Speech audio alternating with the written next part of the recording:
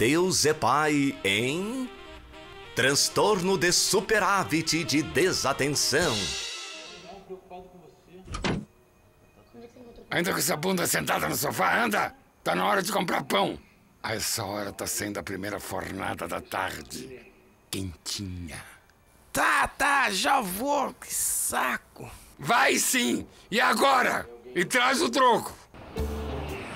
Caralho, por que todo velho tem essa obsessão com pão quente?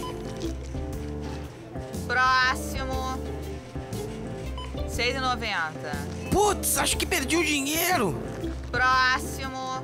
Merda! Porra, não acredito! Perdi a chave também!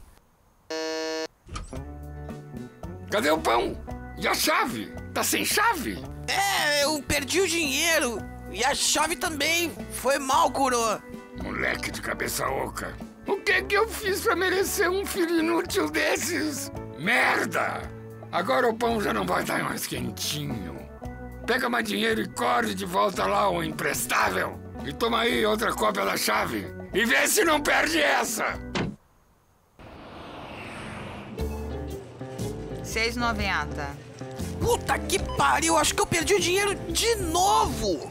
A senhora poderia. Poderia me vender fiado esses pãezinhos? Próximo. Merda, caralho! Puta que pariu! Deixa eu adivinhar. O panaca perdeu o dinheiro e a chave de novo.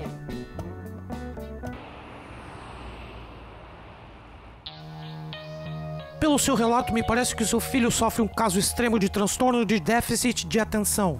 Ouviu o que o doutor disse, ô cabeça de vento? É, claro, claro, paizão.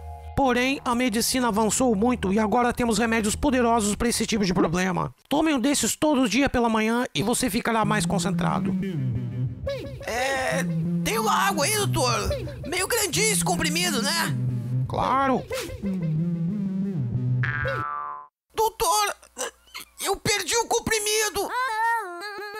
Deixe-me ver sua mão, por favor, rapaz.